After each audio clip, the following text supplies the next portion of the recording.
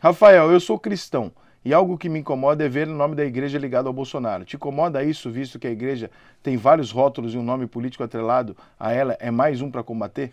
Legal, vou, vou explicar isso, pessoal, Boa cristão pergunta. e não cristão. Vamos lá. O Bolsonaro não é o nosso guia espiritual. Ele não é um pastor e nem um padre. Ele é um presidente. A ponte para, para Deus continua sendo Jesus, Jesus Cristo, Timóteo, né? Não há nenhum intermediador entre, entre Deus e os homens a não ser Jesus Cristo. Só que, por que que é, um padeiro não fala só de pão?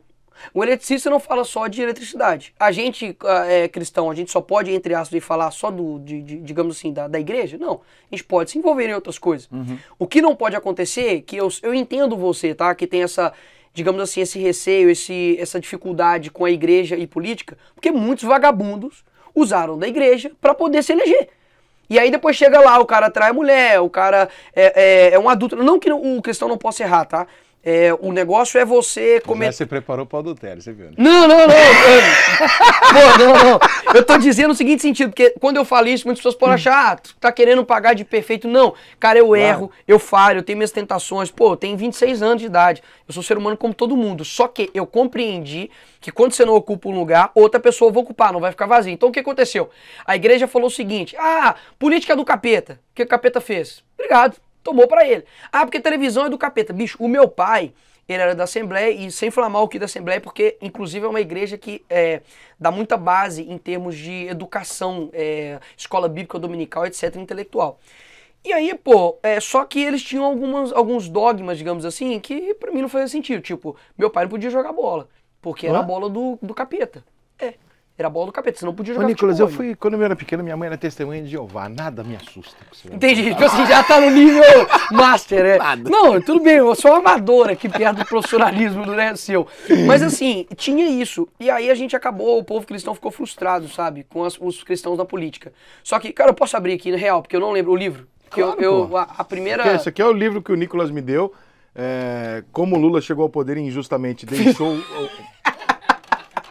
O- Canalha, mil vezes. se, eu, mudar- se eu virar pô. pra câmera capa, eu não posso mentir, Maurício. Eu primeiro preciso mentir. Verdade, Porra, eu tô verdade, mentindo. verdade. Caraca. Pô, esse meu livro aqui, Mostra ó, pra câmera o, aí, o ó. cristão, Aqui que eu mostro.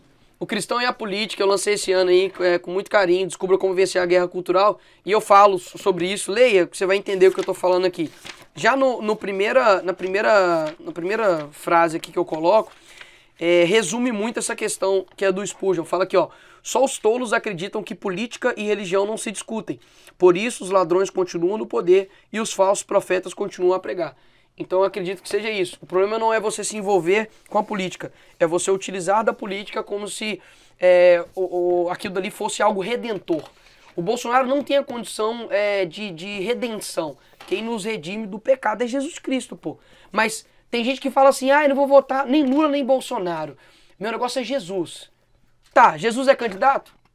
Gênio. Então, enquanto Jesus não for candidato, não tem como votar em Jesus. Então, o cara que se assemelha mais aos princípios e valores e representa o povo cristão é Bolsonaro. Agora, que existem várias pessoas ainda hoje que utilizam do Bolsonaro para poder colocar uma imagem de redenção, como se assim, ele fosse quase Jesus ou intermediário ali de Deus, tem gente que faz isso. E a gente precisa separar ali essas pessoas.